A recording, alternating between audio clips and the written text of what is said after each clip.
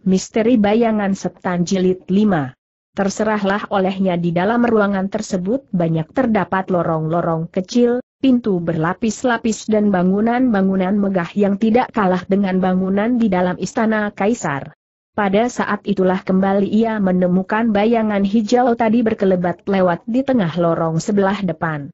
Ketika ini ia tidak ingin berusaha untuk menyembunyikan asal-usulnya lagi, Diiringi suara bentakan keras tubuhnya segera menerjang masuk ke dalam lorong. Dalam keadaan gusar, gerakan tubuhnya cepat laksana sambaran kilat, bagaikan anak panah yang terlepas dari busur hanya dalam sekejap mata pemuda itu sudah menerjang sejauh 5-60 kaki ke dalam. Ia mulai merasakan bahwa lorong tersebut berliku-liku dan tiada ujung pangkalnya tak terasa lagi hatinya merasa pada bergerak, pikirnya diam-diam, Lorong apakah ini mengapa begitu panjang tetapi sebentar kemudian ia sudah tersadar kembali. Apakah mungkin bayangan hijau itu sengaja datang memancing aku memasuki tempat-tempat yang telah dipasangi dengan alat-alat rahasia? Dengan cepat badannya berputar, siapa pada saat itu jalan mundur sudah berubah menjadi selapis dinding yang sangat kuat, tiada jalan lagi baginya untuk mengundurkan diri kecuali melanjutkan perjalanan maju ke depan. Hawa amarah yang semula meliputi benaknya, kini sudah menjadi tenang kembali, ia mulai merasa menyesal dirinya terlalu mengikuti nafsu, mengapa ia tak memeriksa tersebut dulu keadaan luka suhunya? Bila mana menggunakan kesempatan itu orang-orang istana kehuang emas turun tangan melukai suhunya, sekalipun ia berhasil menyandak bayangan hijau tersebut lalu apa gunanya? Tetapi, menyesal pun sudah terlambat, Kini bukan saja ia tak dapat turun tangan menolong suhunya, tidak berhasil menyandak bayangan hijau itu bahkan dirinya sendiri pun sudah terjebak di dalam lorong tersebut dan menjadi tawanan orang lain. Untuk beberapa saat lamanya pemuda tersebut merasa amat sedih dan murung sekali.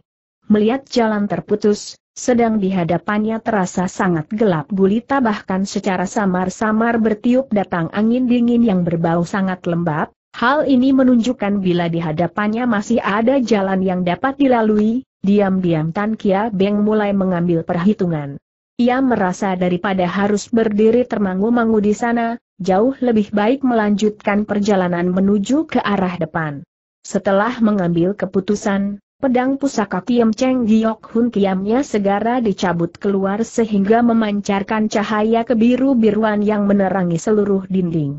Meminjam sedikit cahaya inilah ia melanjutkan perjalanan menerjang ke arah depan.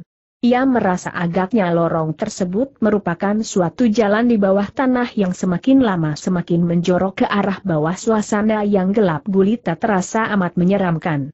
Kurang lebih setelah berjalan seperminum teh lamanya, mendadak lorong tersebut semakin melebar dan muncullah sebuah ruangan batu yang terbuat karena alam. Dari dalam rongga batu tersebut secara samar-samar berkumandang keluar suara gesekan yang amat nyaring. Dengan perasaan terperanjat buru-buru pemuda tersebut menundukkan kepalanya ke atas permukaan tanah.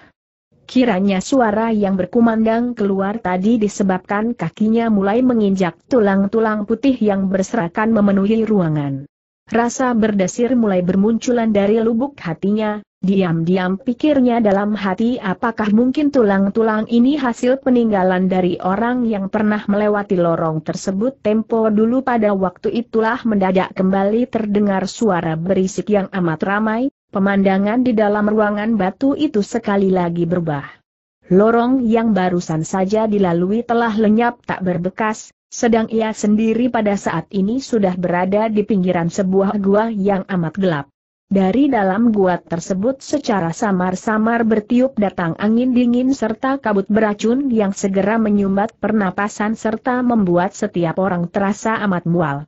Dalam keadaan amat gelusar pemuda itu jadi gelagapan, mendadak. Seret. Seret suara desiran pedang berkelebat laksana larinya selaksa kupa dan secara samar-samar bergema keluar dari balik gua tersebut. Mengikuti munculnya suara desiran pedang tadi, Tampaklah segulung kabut tipis berwarna merah perlahan-lahan melayang keluar sehingga hanya di dalam sekejap mata sudah memenuhi hampir setiap ujung ruangan tersebut. Begitu Tan Kia Beng mendengar suara desiran pedang tadi, dalam hati segera merasa keheranan. Ih, apakah di dalam gua masih ada orang yang sedang berlatih pedang selagi ia merasa keheranan itulah bau busuk yang sangat aneh tadi mulai menyerang ke dalam hidung, kontan saja ia merasakan kepalanya berkunang-kungan, perut terasa mual dan wajah menjadi pucat pasi. Aduh, uh, uh, celaka teriaknya diam-diam dengan sangat terperanjat. Kesemuanya ini pastilah disebabkan oleh kabut tipis yang berwarna merah itu. Beruntung sekali ia berhasil menemukan kejadian tersebut dengan cepat sehingga hawa murninya buru-buru disalurkan mengelilingi seluruh tubuh dan mendesak keluar racun yang telah mengeram di badannya. Di samping itu ia pun menyalurkan hawa murni Jie Kun Yan Cheng Hianya ke seluruh tubuh.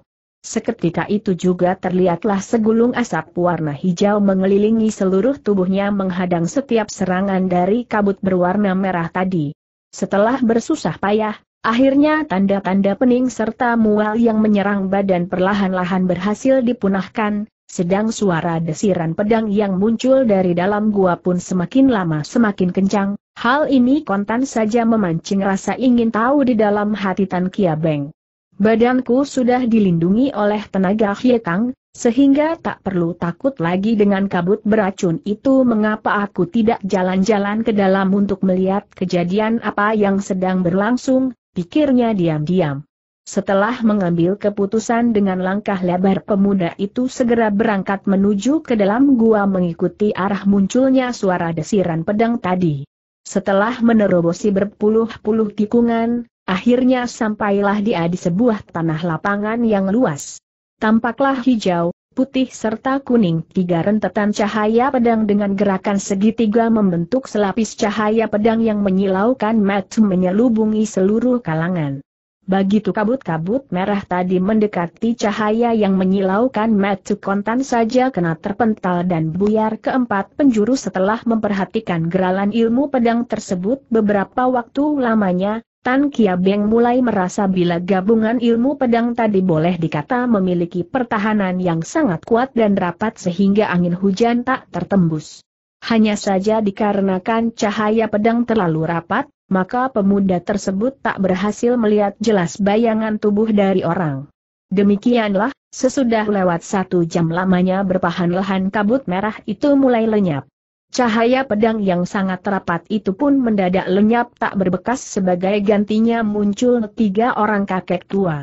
Yang seorang berdandan sebagai seorang syucai dengan jubah warna biru, yang seorang lagi adalah seorang kakek tua berjubah kuning sedang yang terakhir adalah seorang tooti yang dengan wajah yang angker. Ketiga orang kakek tua itu sewaktu melihat Tan Kia Beng berdiri di sana dengan tenang-tenang saja tanpa terjadi suatu peristiwa tak terasa lagi dengan wajah penuh perasaan terperanjat memandang ke arahnya dengan terpesona.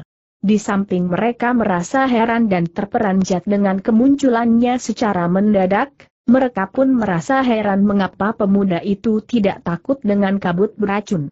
Perlahan-lahan Tan Kia Beng maju ke depan, sambil menjura ujarnya.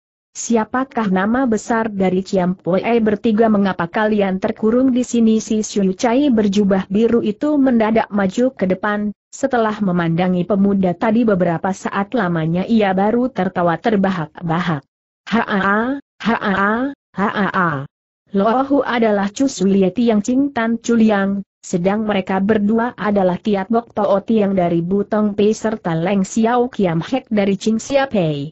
Ia merandek sejenak untuk menghela napas panjang, kemudian sambungnya kembali, Lohu bertiga sudah ada sepuluh tahun lamanya terkurung dalam gua batu ini.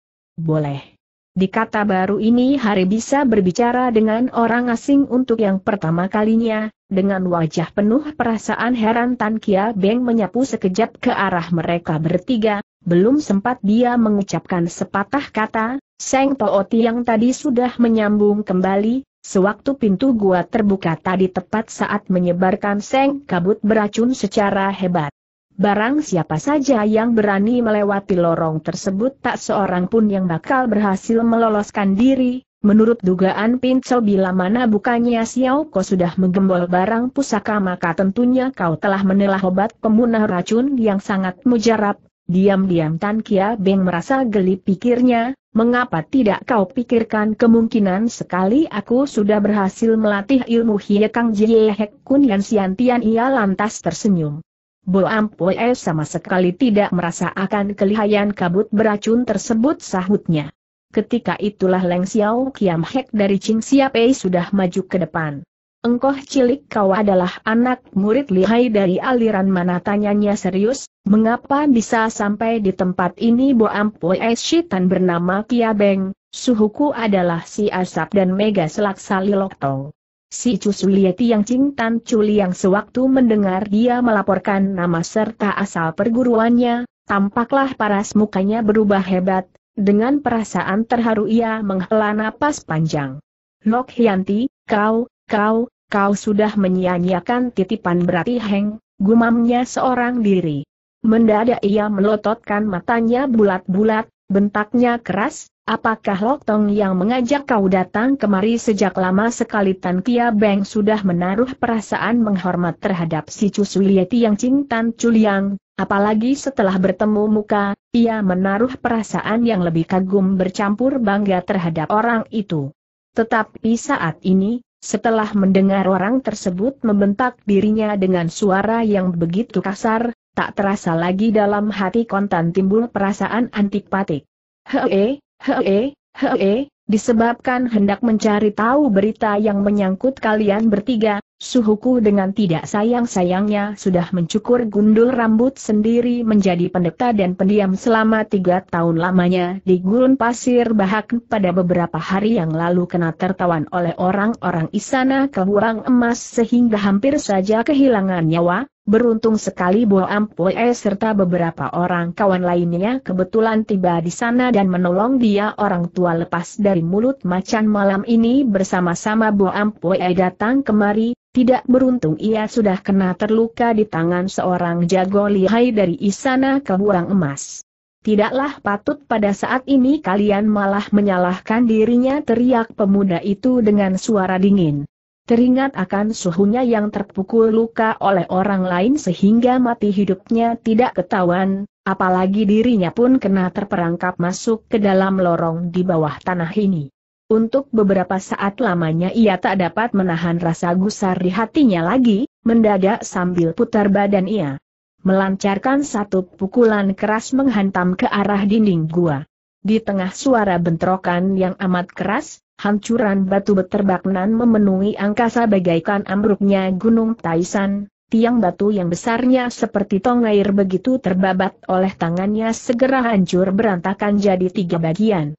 Kehebatan dari tenaga pukulan yang baru saja diperlihatkan ini seketika itu juga membuat Tan Chuliang bertiga merasa sangat terperanjat, terutama sekali Chu yang Ching. Ia merasa semakin girang lagi hingga untuk beberapa saat lamanya tak sanggup mengucapkan sepatah kata pun. Tan Kia Beng setelah melancarkan serangan babatan tadi, hawa amarah yang mendesak di dalam dada pun sudah rada berkurang, ia tidak menggubris terhadap mereka bertiga lagi, sepasang matanya berkilat menyapu sekejap ke sekeliling tempat itu. Tampaklah gua batu tersebut terbentuk karena alam dan sama sekali tidak terdapat jalan keluar, di atas dinding gua tergantunglah tengkorak manusia dengan sangat rapat. Angin-angin dingin yang mendirikan bulu Roma itu kiranya menyembur keluar dari antara tujuh lubang tengkorak tersebut. Permainan setan macam apakah pikirnya diam-diam. Apakah kabut beracun tadi pun disemburkan keluar dari tengkorak itu ketika itulah mendadak terdengar Tan Chuliang buka suara dan menegur lagi, ah bocah masih ingusan, terhadap angkatan yang lebih tua kenapa bersikap begitu kurang ajar? Siapa yang bisa menghormati orang lain tidak akan dihormati pula oleh orang lain. Suhuku dengan bersusah payah berusaha untuk mencari kabar tentang kawan karirnya sehingga hampir-hampir saja mengorbankan nyawanya sendiri, ternyata yang didapat cuma makian belaka. Sungguh maaf belaka angkatan tua semacam ini tak dapat aku orang sitan hormati. Jadi maksudmu Loohu sudah salah memaki suhumu tenaga beliau seorang ada batasnya, bahkan hingga kini sudah mengeluarkan seluruh kekuatan yang dimilikinya. Sebaliknya kalian malah bersikap begitu, Lalu apa kalian suruh aku hanya berdiam diri hei bocah perkataanmu, sedikit pun tidak salah, ayahmu memang sudah salah memaki dirinya. Ih apa maksudmu Tan Kia Beng yang mendengar Tan Chuli yang secara mendadak membahasai dirinya sebagai ayah dan memanggil ia dengan sebutan bocah tak terasa lagi dalam hati menjadi sangat terperanjat.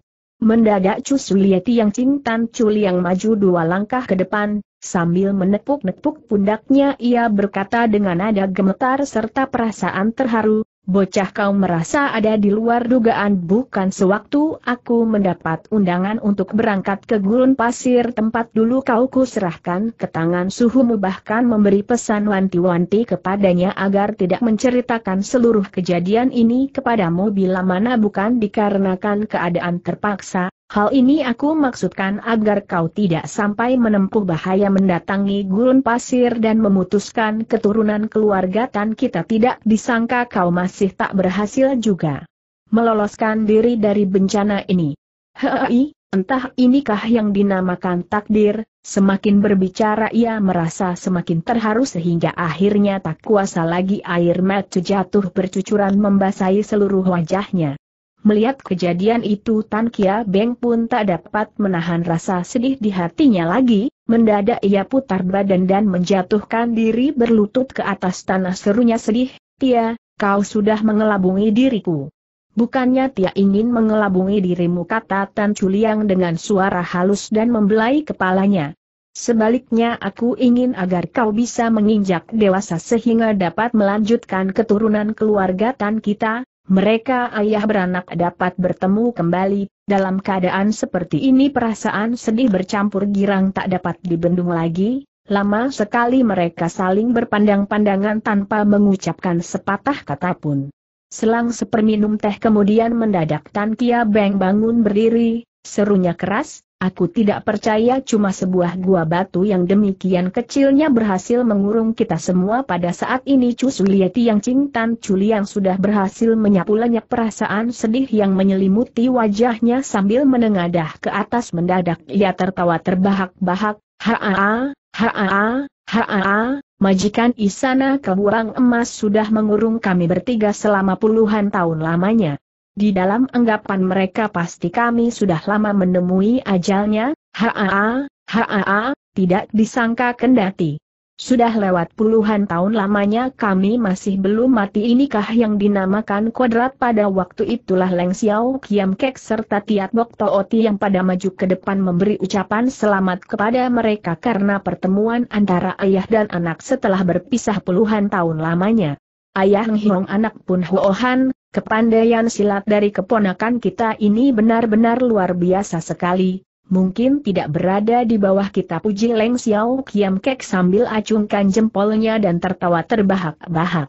Kepandaian silat Bo Ampue belum tamat mana mungkin aku berani membandingkan kepandaianku dengan kepandaian Lo Chiam Pue sekalian si Mega dan Asap Selaksali, Loktong walaupun merupakan seorang pendekar aneh pada waktu ini, menurut penglihatan Pinto tak mungkin dia berhasil mendidik seorang murid yang memiliki kepandaian silat sedemikian dahsyatnya seperti Hiantip saat ini, apa mungkin Hiantip sudah angkat guru lain atau telah menemui penemuan aneh, timbrung Tian Bok Tao Tiang dari samping. Di hadapan ayah serta kedua orang Ciampoe tersebut sudah tentu Tan Kia Beng tak berani berbohong, ia pun lantas menceritakan seluruh kisahnya di mana secara kebetulan dirinya berhasil menemukan ilmu silat peninggalan dari Han Tan Lo Jian. Selesai pemuda itu bercerita, mereka pun jadi paham kembali apa yang sudah terjadi. Kini giliran Tan Chuliang yang menceritakan kisahnya secara bagaimana sehingga mereka terjebak di dalam lorong bawah tanah ini. Kiranya pada waktu itu majikan istana kebuang sedang berlatih ilmu silatnya mati-matian untuk merencanakan suatu gerakan secara besar-besaran, tetapi tidak mengetahui bagaimanakah keadaan yang sesungguhnya di dalam bulim. Kebetulan sekali ketika itulah si Cusulieti yang Tan Culiang berhasil menangkan Tiat Bok Tooti yang serta Leng Xiao Kiam Hek sehingga mendapat gelar sebagai jagoan pedang nomor wahid dari seluruh bulim. Majikan Isana Keburang Emas yang mendengar kabar ini segera merasa bahwa inilah suatu kesempatan yang paling baik baginya untuk menjajal kepandaian silat dari seluruh partai. Berturut-turut ia menyebar undangan kepada mereka bertiga untuk diajak bertarung mereka bertiga setelah tiba di gurun pasir secara bergilir telah melakukan pertempuran sengit melawan majikan Isana Keburang Emas berturut-turut selama tiga hari lamanya. Dengan Tiat Bok Tooti yang serta Leng Xiao Kiam Hek, majikan Isana Kehurang Emas berhasil merebut posisi seimbang, sebaliknya di tangan Tan Chuli yang ia kena dikalahkan. Pada waktu itu ilmu Hang Mong Chi Hei dari majikan Kehurang Emas belum berhasil dilatih sempurna. Ia lantas menganggap mereka bertiga merupakan satu-satunya penghalang di dalam mencapai suksesnya bagi rencana selanjutnya. Oleh karena itu akhirnya dengan menggunakan akal ia berhasil memancing mereka bertiga masuk ke dalam gua gelap tersebut. Karena orang yang menemui ajalnya di dalam gua itu amat banyak maka setelah malam tiba sering sekali kelihatan cahaya api yang memancarkan sinar tajam berkedip tiada hentinya. Karena kejadian itulah maka gua tersebut mereka namakan sebagai gua perkut Ye Wang Tong atau gua seratus tulang pengejar sukma. Berhubung gua ini letaknya di dasar lembah, maka setiap jam 12 tengah malam dan jam 12 siang hari dari atas atap gua dengan melalui tujuh lubang kerangka-kerangka manusia itu menyembur keluar semacam kabut beracun yang berwarna merah barang siapa saja yang menghisap asap itu tentu akan keracunan dan menemui ajalnya tanpa bisa diobati lagi. Untuk melawan datangnya serangan kabut beracun itu akhirnya mereka bertiga berhasil menciptakan suatu permainan ilmu pedang yang mengutamakan pertahanan dengan diberi nama ilmu pedang perkut Ye Wahun Kiam Hoat. Ilmu pedang tersebut bukan lain adalah permainan pedang yang berhasil dilihat Tan Kia Beng sewaktu memasuki gua tadi. Ketika Tan Chuli yang selesai menceritakan kisahnya, hari pun perlahan-lahan menjadi gelap kembali sehingga suasana di dalam gua berubah semakin menyeramkan, bahkan hampir-hampir saja sulit untuk melihat kelima jari tangannya sendiri. Mendadak Tan Kia Beng teringat dengan pedang pusaka Kiem Cheng Giok Hun Kiamnya segera ia mencabut keluar pedang tersebut sambil menyalurkan hawa murninya ke dalam badan pedang tadi. Selama hidupnya si Cusulieti yang cintan Culi yang paling gemet akan pedang pusaka, sewaktu melihat kebagusan dari pedang itu tak terasa lagi ia sudah memuji berulang kali.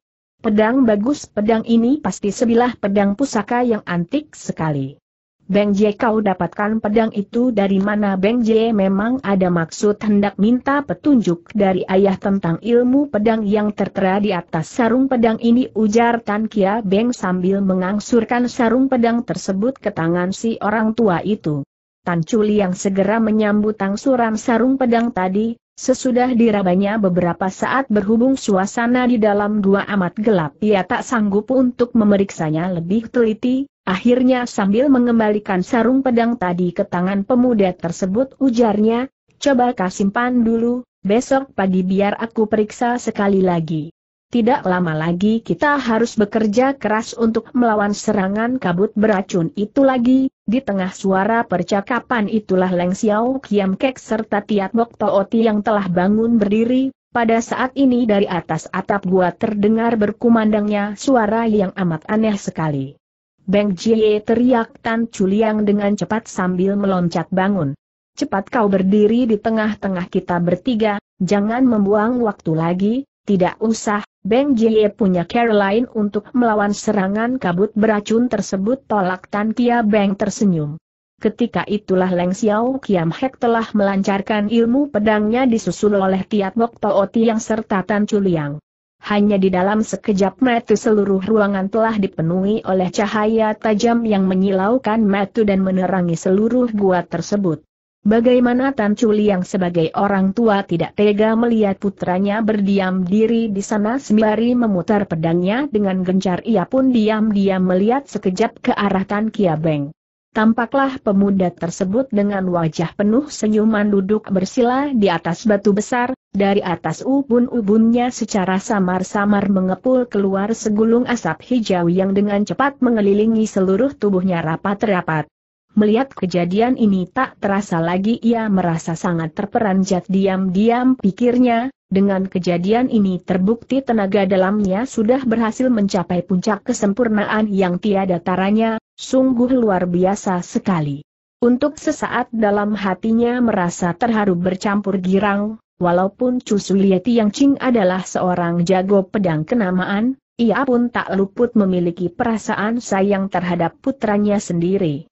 Tan Kia Beng sembari menggunakan tenaga Hiekang Jie Hekun Yennya untuk melawan asap kabut beracun tersebut, ia pun mulai memperhatikan permainan ilmu pedang perkut Ye Hun Kiam Hoat dari mereka bertiga, diam-diam pikirnya. Ilmu pedang ini jikalau digunakan untuk mempertahankan diri dari serangan musuh memang sangat rapat sekali, jikalau di antara permainan pedang tadi aku campuri pula dengan beberapa buah jurus serangan di luar dugaan, bukankah rangkaian ilmu pedang ini akan jadi lebih sempurna lagi karena tak ada urusan lain? Tanpa terasa pemuda itu sudah pusatkan pikirannya untuk mengingat-ingat seluruh jurus serangan tersebut. Sedangkan Tan Chuliang bertiga karena harus mempertahankan diri terhadap serangan kabut beracun itu sehingga tidak sampai menyerang mereka, maka bolak-balik yang dimainkan hanyalah serangkaian ilmu pedang itu. Satu jam dengan cepatnya berlalu, sedang di dalam waktu yang amat singkat itulah Tan Kia Beng berhasil mengingat baik-baik seluruh rangkaian ilmu pedang tersebut. Kabut beracun sudah berhenti, Tan Culi yang sekali ampun dikarenakan sudah kehilangan banyak hawa murni, begitu kabut beracun mulai menghilang, mereka pun segera menyimpan kembali pedangnya dan duduk bersemedi mengatur pernapasan. Sebaliknya Tan Kia Beng pada saat yang bersamaan malah bangun berdiri sambil mencabut keluar pedang pusaka Kiam Giok Hun Kiam. Dengan mengandalkan daya ingatnya ia mulai mainkan rangkaian ilmu pedang tersebut sejurus demi sejurus satu gerakan demi satu gerakan dengan lancar. Dasarnya memang seorang jagoan yang memiliki bakat alam permainan pedang yang sesuai dengan apa yang teringat olehnya selama ini ternyata sama sekali tak meleset. Menanti ia selesai memainkan rangkaian ilmu pedang tersebut, Tan Culi yang sekalian yang bersemedi pun telah selesai. Melihat kejadian itu tak terasa lagi Leng Xiao Kiam Hek sudah menghela napas panjang kami bertiga harus menggunakan banyak tenaga dan harus peras keringat dan darah untuk menciptakan rangkaian ilmu pedang tersebut. Tak disangka kau hanya melihat satu kali saja telah dipahami semuanya, kau betul-betul sangat berbakat pujinya berulang kali. Lo Chiam Poe terlalu memuji buru-buru Tan Kia Beng merendah. Murid Chiam Poe, si Chiat Hun Kiam, Si Hwan Heng jauh lebih hebat dari Bo Ampoi berbicara sampai di sini mendadak ia menoleh kembali ke arah Tiat Bok Tooti yang sambil sambungnya, murid Chiam Poi Sak Heng, sebetulnya sudah berjanji dengan Bo Ampoi untuk bersama-sama datang ke gurun pasir, hanya saja dikarenakan pihak Isana Kehuang Emas telah mengirimkan jago-jagonya untuk menyerbu Gunung Butong San sehingga membuat ia sedikit menderita luka, karena itu ia tidak bisa datang bersama Bo Poe. Mungkin saat ini Sak Heng sedang dilatih pedang dengan Tian Liong Tao Tiang dan sebentar lagi akan berangkat kemari Hei, melihat keadaan semacam ini, lebih baik dia jangan datang saja, seru Tiat Bok Tao Tiang sambil menghela napas panjang. Semula di dalam hati mereka berdua mempunyai perasaan iri sewaktu melihat perjumpaan ayah beranak antara Tan Chuliang dengan Tan Kia Beng beserta bagaimana hebatnya kepandaian silat yang dimiliki pemuda tersebut. Kini setelah Tan Kia Beng memberi penjelasan mengenai keadaan dari Si Hwan serta Sakih, perasaan tersebut jadi hilang kembali. Walaupun mereka mengerti kepandaian silat dari Si Hwan serta Sakih tentu mendapatkan kemajuan yang amat pesat tetapi mereka pun paham bila kepandaian mereka tak bakal lebih tinggi dari kepandaian yang dimiliki Tan Kia Beng. Kalau tidak, bagaimana mungkin mereka dapat berkawan dengan pemuda tersebut? Berada di dalam gua itu boleh dikata sama sekali tak dapat melihat langit pun tidak tahu pula ketika itu sedang siang hari atau sudah malam. Tetapi kalau pagi hari menjelang datang cahaya yang menyinari gua itu rada baikan dengan meminjam cahaya sinar yang ada itulah Kusulieti yang Ching mulai melakukan penyelidikan dengan sangat teliti terhadap ukiran-ukiran yang terdapat di atas sarung pedang Giok Hun Kiam tersebut. Dengan amat tenang Tan Kia Beng menanti di sisinya, Sewaktu dilihatnya orang tua itu sebentar mengerutkan alisnya sebentar lagi tersenyum sendiri bahkan ada kalanya menggerakkan kaki serta tangannya, dalam hati segera mengerti bila ayahnya sedang memusatkan seluruh perhatian untuk memecahkan rahasia yang menyelimuti ilmu pedang tersebut.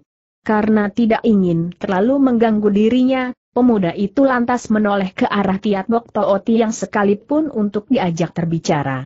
Di dalam anggapannya, Tiat Bok Toot yang bertiga yang pernah bergebrak melawan majikan Isana Kehurang Emas, sudah tentu mereka mengetahui juga siapakah dia. Lo Chiam Pue berdua pernah bergebrak melawan majikan Isana Kehurang Emas, tentunya kalian tahu bukan siapakah dia perlahan-lahan Leng Xiao Kiam Hek menghela napas panjang. Hei, bila dibicarakan sungguh mengecewakan sekali, di antara kita bertiga siapa pun belum pernah melihat wajah asli dari majikan Isana Keburang Emas, sehingga siapa pun dia kami sendiri pun tidak begitu paham katanya. Apa alasannya karena setiap kali munculkan diri ia tentu memakai kerudung hijau di atas wajahnya, yang kami ketahui dia adalah seorang wanita. Lo Chiam Poe masih dapat mengingat-ingat berasal dari aliran manakah perempuan itu serta dari manakah asal-usul ilmu silatnya. Ilmu silatnya mirip dengan ilmu kalangan Buddha, tetapi mirip pula dari kalangan Sian Bun pokoknya sangat aneh serta lihai, sehingga sukar ditebak, dan yang paling jelas ilmu tersebut bukan ilmu aliran hitam, pernahkah dia menggunakan semacam ilmu tenaga hiekang yang disebut Hang Mong Chik Hie? Tiat Bok Tooti yang serta Leng Xiao Kiam Hek bersama-sama menggelengkan kepalanya berulang kali. Cukup mengandalkan kepandaian itu saja Lo Ohu sekalian sudah merasa sulit untuk menamakan dirinya, bila mana ia menggunakan ilmu tenaga sakti lagi bagaimana mungkin kami bisa hidup sampai ini hari. Hei, hal ini memang tak dapat salahkan kalian ujar Tan Kia Beng mengangguk dan menghela napas panjang. Waktu itu kemungkinan sekali ilmu sakti Hang Mong Chi Hianya belum berhasil mencapai kesempurnaan sehingga ia tak berani bertindak secara gegabah. Kini ilmunya sudah jadi tidak aneh kalau ia mulai melakukan penjagalan secara besar-besaran. HMMM orang-orang bulim di daerah Tionggoan bukan merupakan gerombolan manusia-manusia yang dapat dianiaya semaunya apakah mereka sudah melakukan suatu gerakan Tan Kia Beng segera menyeritakan kisahnya sejak muncul kereta maut sehingga penyemburan mereka ke atas Gunung Butong San bahkan seluruh peristiwa besar kecil yang pernah terjadi di dalam bulim sudah diceritakan dengan sangat jelas. Sehabis mendengar kisah itu baik Tia Bok Too Tiang maupun Leng Xiao Kiam Hek sama-sama tak dapat menahan rasa gusar di hatinya lagi, dengan wajah merah padam serta sepasang mata berapi-api teriaknya murka, kalau begitu jelas sekali tujuannya yang terutama adalah mencari permusuhan dengan orang-orang bulim di daerah Tionggoan. Hektometer ada satu hari bila kita semua berhasil meloloskan diri dari kurungan, Aku pasti akan mencari dirinya untuk membuat perhitungan atas hutang-hutang kita selama ini. Menurut daya ingat Siam Poe berdua, pernahkah kalian menemui perempuan semacam ini mendadak pemuda itu mengajukan pertanyaannya? Bila kita berhasil menebak asal-usulnya maka tidaklah sulit untuk mengetahui maksud tujuannya. Lama sekali mereka berdua memeras otak, tetapi hasil yang diperoleh tetap nihil. Melihat kedua orang tua itu tak berhasil mengingat-ingat sesuatu hal, kembali Tan Kia Beng berkata, tempo dulu, sewaktu Lo Chiam Poe sekalian mengikuti Raja Muda melakukan penyerbuan ke daerah suku Biao, pernahkah kalian menemui seorang perempuan yang sangat aneh gerak-geriknya walaupun ada beberapa orang selir Raja suku Biao yang ikut berperang, tetapi mereka bukan termasuk jago-jago yang menonjol ilmunya sahut Leng Xiao Kiam Hek setelah termenung sejenak. kalau begitu sungguh aneh sekali Bo Ampue sudah beberapa kali melakukan pertempuran melawan orang-orang pihak istana kebuang emas dan sering sekali menemukan ikut sertanya busu suku Biao, karena itu aku menaruh curiga bila majikan istana kebuang emas kemungkinan sekali ada sangkut pautnya dengan Raja suku Biao tempo dulu. Perkataan dari Hiantit sedikit pun tidak salah mendadak tiap waktu yang menimbrung. Setelah kita berhasil meloloskan diri dari sini, dengan mengikuti titik terang ini mungkin sekali kita akan berhasil menemukan keadaan yang sesungguhnya. Tetapi sewaktu teringat bahwa mereka masih terkurung di dalam gua tersebut, tak terasa lagi kedua orang itu menghela napas panjang. Mereka bertiga segera terpelosok ke dalam lamunan masing-masing. Mendadak. Ha-a-a, ha-a-a, ha-a-a, kiranya begitu, sekarang aku paham sudah seru Cu Sulieti yang Tan Culi yang sambil tertawa terbahak-bahak. Mendengar suara tertawa itu mereka bertiga tak terasa lagi sudah pada mengalihkan pandangannya ke arah si orang tua itu. Terlihatlah sepasang tangannya sedang berputar dan menari tiada hentinya di tengah udara, bahkan ada kalanya memperlihatkan sikap lagi berkelahi. Sewaktu dilihatnya mereka bertiga sedang menoleh ke arahnya, dengan cepat ia menoleh dan menggapai ke arah Tan Kia Beng. Tidak kusangka akhirnya rahasia ini berhasil aku pahami teriaknya keras. Ditinjau dari paras mukanya jelas sekali menunjukkan kalau ia merasa amat bangga sekali. Tan Kia Beng pun merasa sangat kegirangan, buru-buru ia maju ke depan. Tia bagaimana kalau kau mainkan beberapa jurus biar Beng Jia lihat katanya. Memainkan serangkaian ilmu pedang ini harus membutuhkan tenaga murni yang amat banyak kata Tan Culi yang sambil menggeleng perlahan setiap hari aku harus melawan serangan kabut beracun yang berarti harus mengorbankan hawa murni amat banyak sekali, sekarang aku tak boleh menggunakannya lagi kalau tidak. Hei, dari nada suaranya jelas sekali menunjukkan ia mengandung perasaan sedih yang tiada taranya. Apakah Tia sudah keracunan oleh kabut beracun tersebut teriak Tan Kia Beng dengan sangat terperanjat. Bukan ayahmu saja yang sudah menderita keracunan yang berat disebabkan kabut beracun tersebut, sekalipun mereka berdua juga sama saja keadaannya, sembari berkata ia mencincing baju dan memperlihatkan kulit perutnya, kemudian sambil menuding ke atas sebuah bisul sebesar mangkuk nasi katanya kembali, Noda-noda kabut beracun yang meresap ke dalam tubuh kami selama puluhan tahun ini telah berhasil kami desak sehingga berkumpul menjadi satu dan membentuk sebuah bisul bila mana pada suatu hari daya kerja racun tersebut bangkit kembali, hei sekalipun dewa malaikat yang datang pun sulit untuk menolong nyawa kami. Saat itulah Tan Kia Beng baru mengerti mengapa mereka bertiga tidak berani terlalu banyak menggunakan tenaga dalamnya. Tak terasa lagi diam-diam pikirnya, jikalau si Rasul Selaksa Racun ada di sini ia pasti dapat berusaha untuk melenyapkan bisul tersebut. Berpikir sampai di sini tak terasa lagi dengan nada menghibur katanya, Tia boleh kau berlega hati, menanti kita sudah berhasil meloloskan diri dari tempat ini, biarlah aku pergi mencari adik angkatku si Rasul Selaksa Racun untuk berusaha melenyapkan racun itu. Apa si Rasul Selaksa Racun adalah adik angkat seru Tan Culiang dengan wajah gusar. Setelah merandek sejenak, kembali ia mendengus dingin.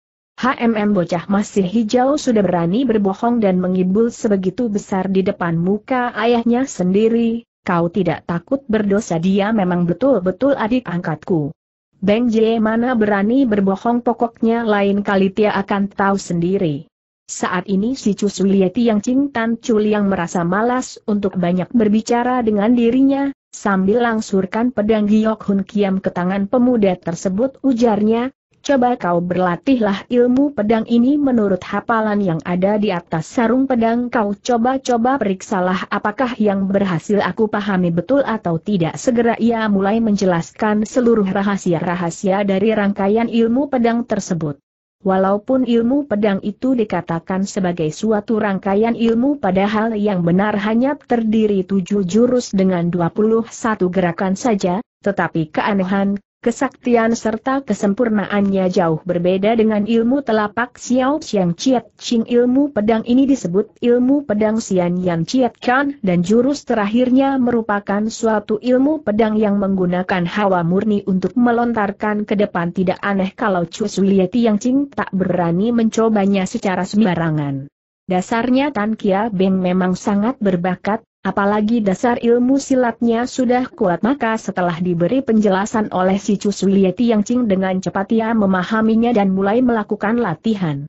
Disebabkan setiap hari mereka bertiga harus mengorbankan hawa murninya sebanyak dua kali maka Tan Chu Liang bertiga tidak ingin banyak berbicara setelah bercakap-cakap sebentar dengan Tan Kia Beng masing-masing lantas mulai bersemedi mengatur pernapasan. Kini tinggal pemuda itu seorang diri, dengan pusatkan seluruh perhatian ia mulai berlatih tiada hentinya. Entah sudah lewat beberapa hari lamanya tanpa ia sadari rangkaian ilmu pedang tersebut berhasil ia pahami dengan matang. Kalau tempo dulu ia memainkan ilmu pedang tersebut dengan sangat lambat sehingga belum kelihatan jaya kemampuannya, kini setelah dimainkan dengan penuh tenaga, kedahsyatannya betul-betul sangat mengerikan sekali. Hanya di dalam sekejap saja angin dan guntur bergema memekikan telinga, cahaya yang menyilaukan mata memancar ke empat penjuru, di mana cahaya pedang berkelebat terdengarlah suara gemerincingan yang amat keras. Mendadak pemuda itu membentak keras, terasalah serentetan cahaya biru menyebar lewat Tahu pedang Giok Hun kiamnya bagaikan seekor naga meluncur ke atas sebuah tiang batu kurang lebih tiga kaki jauhnya dari tempat di mana ia berdiri. Kriing di tengah suara getaran yang sangat keras, percikan bunga api beterbangan memenuhi angkasa, tiang batu itu kontan saja kena terbabat putus menjadi dua bagian dan rubuh ke atas tanah dengan menimbulkan suara gemuruh yang menggetarkan seluruh gua. Di mana tangan pemuda itu kembali menggapai, pedang tersebut dengan membentuk pelangi panjang sekali lagi melayang balik ke tangannya. Inilah jurus tiang Kiao Huohang atau jembatan panjang menghadang pelang dari ilmu pedang Sian Yan Chiat Kan, kehebatannya sungguh mengerikan sekali. Chu Sulie Tiang Ching, Tiat Bok Too Tiang serta Leng Xiao Kiam Hek walaupun merupakan jago-jago pedang yang amat terkenal, tetapi setelah melihat kehebatan dari ilmu pedang tersebut tak urung menggelengkan kepala juga sambil menghela napas panjang. Haa Hiantik bisa memiliki pedang pusaka yang demikian tajamnya ditambah pula mengandalkan ilmu pedang yang tiada bandingannya ini, sekalipun majikan Isana Kehuang Emas memiliki kepandaian yang amat tinggi pun mungkin sulit juga untuk mengalahkan dirimu ujar Leng Xiao Kiam Hek sambil tertawa terbahak-bahak. Hei, kalian jangan keburu bergirang hati, nyeletuk tiap Bok Tooti yang sambil menghela napas panjang. Kemungkinan sekali rangkaian ilmu pedang ini bakal menemani kerangka kita berempat dan selamanya akan terkubur di dalam gua perkut Ye Tong ini mengungkap persoalan ini, mereka berempat kembali merasa bersedih hati, suasana menjadi sangat hening.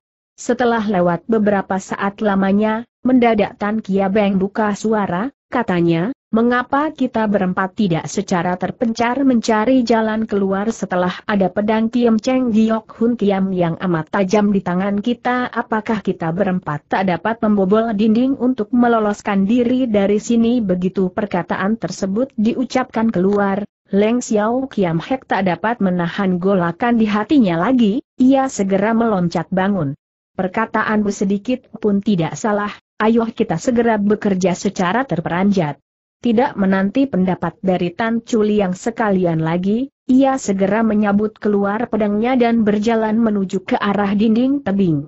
Demikianlah, sebentar saja mereka berempat secara terpencar mulai mengetuk dinding-dinding tebing dengan menggunakan gagang pedang gua mengetahui di bagian manakah merupakan ruang yang kosong. Selama ini yang paling dicurigai oleh Tan Kia Beng adalah arah sebelah timur, berturut-turut dia mengetuk beberapa puluh kali di sekitar sana, mendadak terdengarlah sesuatu ketukan yang keras dan menimbulkan suara pantulan nyaring, hal ini jelas membuktikan bila tempat itu merupakan sebuah tempat yang kosong. Dengan hati gembira, tak kuasa lagi pemuda itu berteriak keras, Ah ah ah, di sini ada tempat kosong hawa murni segera disalurkan ke dalam sepasang tangannya kemudian di mana pedangnya berkelebat dan membabat keras ke depan, di atas dinding gua tersebut muncullah sebuah celah yang besar. Kemudian setelah dibabat berulang kali pemuda itu baru menarik kembali pedangnya, sepasang telapak tangannya dengan menggunakan tenaga dalam 12 bagian mendadak didorong ke depan dengan gerakan sejajar dada. Terdengar suara ledakan yang amat keras bergetar memecahkan kesunyian, batuan beterbangan debu menyilaukan matu di atas tebing gua tersebut muncullah sebuah lubang besar yang cukup dilalui satu orang. Serentetan cahaya terang segera menyeret masuk ke dalam gua menerangi seluruh ruangan. Dengan penuh rasa girang ia segera meloncat keluar melalui celah besar tadi. Setelah keluar dari mulut celah, pemuda itu baru menemukan di tempat luaran adalah sebuah lembah kecil yang terapit di atas dua buah puncak gunung, tempat tersebut amat lembab licin dan sangat berbahaya, untuk meloloskan diri dari sana mereka harus berusaha keras untuk menempuh bahaya melewati tempat-tempat itu. Beruntung sekali mereka berempat memiliki ilmu sakti yang luar biasa lihainya, kendati jalanan di tempat itu sangat berbahaya tetapi tidak sampai menyusahkan gerakan mereka. Demikianlah dengan Tan Kia Beng berada di depan serta Tan Chuliang di paling belakang mereka berempat dengan menggunakan ilmu meringankan tubuh cecak merayap perlahan-lahan bergerak ke arah luar. Gerakan mereka ini benar-benar merupakan tindakan yang sangat berbahaya sekali. Kiranya celah yang berhasil mereka gali tadi terletak di atas sebuah tebing curam yang licin bagaikan kaca. Di atas terdapat puncak yang tinggi menembusi awan, di bawah merupakan jurang yang tak kelihatan dasarnya. Satu-satunya cara buat mereka untuk meloloskan diri dari sana hanyalah merayap melalui tebing curam laksana kaca tersebut untuk berusaha mencari jalan keluar. Tetapi, tebing curam itu luasnya kurang lebih ada 5-60 kaki, oleh karena itu gerakan mereka kali ini terlalu payah dan sangat berat buat mereka. Tan Kia Beng yang memiliki tenaga dalam amat sempurna hanya di dalam sekejap saja sudah berada 30 kaki jauhnya, tetapi sewaktu ia menoleh ke arah belakang tampaklah ketiga orang tua tersebut hingga saat itu baru berhasil mencapai puluhan kaki jauhnya bahkan kelihatan sangat bayah sekali. Melihat kejadian tersebut, pemuda itu jadi amat terperanjat.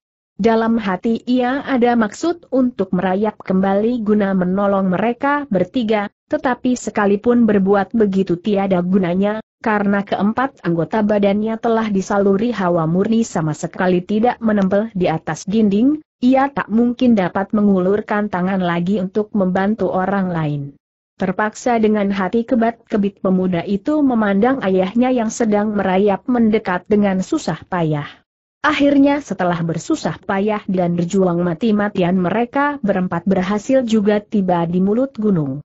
Ketika itulah Tan Kia Beng baru bisa merasa lega, ia menarik napas panjang-panjang kemudian melayang ke atas permukaan tanah. Terlihatlah olehnya tempat tersebut merupakan sebuah lembah berbatu yang di mana-mana hanya kelihatan batu-batu aneh berserakan memenuhi permukaan tanah. Dalam waktu singkat berturut-turut Chu Sulieti yang Cing Tan Chuliang, Leng Xiao Kiam Hek serta Tiat Bok Tooti yang sudah melayang turun ke atas permukaan tanah. Dengan hati penuh kegirangan Tan Kia Beng segera berlari menyongsong kedatangan mereka.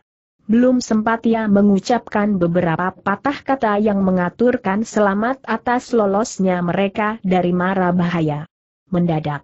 Haa, haa, haa, selama ini aku mengira di dalam kehidupanku kali ini pasti akan terkubur hidup-hidup di dalam gua yang amat gelap itu, tidak disangka akhirnya ini hari aku berhasil bernapas kembali di udara bebas, haa, haa, haa, seru Leng Xiao Kiam Hek sambil tertawa terbahak-bahak. Di tengah suara tertawanya yang amat keras itulah, tubuhnya bergoyang dan mundur dengan sempoyongan, terakhirnya ia rubuh ke atas tanah tak berkutik lagi. Dengan perasaan terperanjat Tan Kia Beng buru-buru maju ke depan membimbing tubuhnya, ketika ia memeriksa pernapasan si orang tua itu taulah pemuda tersebut bila orang tua tadi sudah menemui ajalnya. Belum sempat ia berhasil mengambil suatu tindakan mendadak terdengar dua kali suara rubuhnya benda berat ke atas tanah, Ketika ia menoleh maka terlihatlah Chu Sulie Tiang Ching Tan Chu yang beserta Tiat Bok Tiang bersama-sama sudah rubuh ke atas tanah dan menemui ajalnya. Perubahan yang terjadi secara mendadak ini merupakan suasana peristiwa yang tidak pernah terduga olehnya selama ini, tak kuasa lagi sambil berjongkok memeluk jenazah ayahnya ia menangis terseduh-seduh. Suara tangisannya kali ini benar-benar sudah menumpahkan seluruh perasaan sedih yang terkandung di dalam dadanya, inilah yang dinamakan lelaki sejati tidak gampang menangis, setelah menemui kejadian yang paling menyedihkan maka ia akan menangis laksana air bah yang tak terbendung lagi. Kiranya Tan Culiang bertiga yang terkurung di dalam gua bukan saja tidak berhasil memperoleh bahan makanan untuk disantap setiap harinya bahkan setiap hari mendekati jam 2. Belas mereka harus melawan serangan dari kabut beracun yang pasti akan mengorbankan banyak sekali hawa murni mereka. Bila mana diharusnya bertahan selama beberapa tahun secara begini, kendati dewa pun tak akan tahan. Masih beruntung tenaga dalam mereka bertiga amat sempurna, ditambah pula keinginan hidup masih sangat kuat di hati mereka bertiga sehingga tanpa terasa lagi sepuluh tahun berhasil mereka lalu dengan selamat. Pada saat itu mereka setelah disoroti oleh sinar seng surya, tertiup oleh angin gunung ditambah pula harus berusaha keras untuk meloloskan diri dari kematian, tanpa mereka sadari seluruh tenaga murni yang tersisa di dalam tubuh masing-masing telah habis digunakan semua. Karena kejadian itulah tanpa menimbulkan sedikit suara pun mereka telah rubuh menemui ajalnya, oh oh nol, dewe nol oh, oh. Kita balik kepada Tan Kia Beng yang menangis dengan sedihnya di sisi jenazah ketiga orang tua itu, Lama sekali ia baru bangun berdiri setelah mengusap kering bekas air mata ia berdiri termangu-mangu di sana. Pembunuh ayahku beserta paman Tiatbok dan paman Leng Xiao adalah majikan Isana keburang emas teriaknya setengah kalap. Hutang berdarah ini harus aku tagih, aku hendak membuka pantangan membunuh seluruh iblis yang terbung dalam Isana keburang emas akan kubunuh satu demi satu hingga habis, aku hendak bunuh mereka semua, suara teriakannya ini penuh terkandung perasaan dendam, benci dan nafsu membunuh suaranya yang keras. Berkumandang dan mengalun tiada hentinya di tengah pegunungan sunyi. Hal ini membuat angin dingin yang bertiup sepoi-sepoi pada waktu itu pun secara samar-samar terasa membawa suasana membunuh yang amat mengerikan. Pada saat Tan Kia Beng sedang berteriak-teriak kalap itulah, Secara diam-diam tanpa berisik dari balik sebuah bukit muncullah dua orang pemuda berpakaian ringkas yang menyoren pedang panjang. Gerakan tubuh mereka amat cepat, hanya di dalam sekejap saja kedua orang itu sudah tiba di bawah gunung. Jelas sekali hal ini menunjukkan bila mereka telah menemukan jejak dari Tan Kia Beng sehingga gerakan tubuhnya semakin dipercepat. Dari tempat kejauhan kelihatan sekali gerakan mereka cepat laksana dua batang anak panah yang terlepas dari busur. Tan Kia Beng pun telah menemukan pula kedatangan orang itu, tetapi ia cuma memandang mereka sekejap sambil tertawa dingin tiada hentinya. Tiba-tiba ia menengadah ke atas sambil tertawa terbahak-bahak, suara tertawa tersebut sangat menusuk telinga dan penuh diliputi perasaan sedih, sehingga mengalun tiada hentinya di tengah udara. Beberapa saat kemudian sambil menarik kembali suara tertawanya ia mencabut keluar pedang pusaka Kiam Cheng Giok Hun Kiam. Hei eh hei eh eh, ayo mari, mari sini. Xiao Yamu memang sedang menunggu kedatangan kalian teriaknya dingin. Belum habis perkataan itu selesai diucapkan, kedua orang pemuda tersebut sudah tiba di hadapannya. Tan Kia Beng segera membentak keras, pedang pusakanya digetarkan menimbulkan cahaya kebiru-biruan yang menyilaukan. Laksana serentetan pelangi panjang dengan dahsyat dan gencar menggulung ke arah depan, kehebatannya sungguh luar biasa. Serangan pedang yang dilancarkan Tan Kia Beng barusan ini benar-benar sangat hebat dan mengerikan. Beruntung sekali kedua orang pemuda tersebut pun merupakan jago-jago lihai kelas wahid dari dunia persilatan, dengan perasaan terperanjat mereka berteriak keras, Eei. Tan Hong, mengapa kau berbuat demikian masing-masing orang dengan cepat mengejutkan badannya mencelat ke tengah udara kemudian bersalto beberapa kali dan melayang ke kiri dan kanan.